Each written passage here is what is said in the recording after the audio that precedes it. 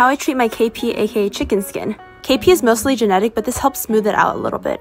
A few nights a week, I make sure to apply an AHA chemical toner. I've been using these ones lately. I apply them to my arms when my KP is located and then I apply a body lotion afterwards. This definitely helps with the texture.